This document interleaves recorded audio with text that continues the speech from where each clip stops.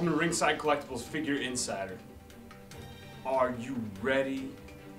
No! I said, are you? Ready? Triple H is in Mattel's WWE Elite Series 23. Hunter Hearst Helmsley comes in Elite style flashback packaging.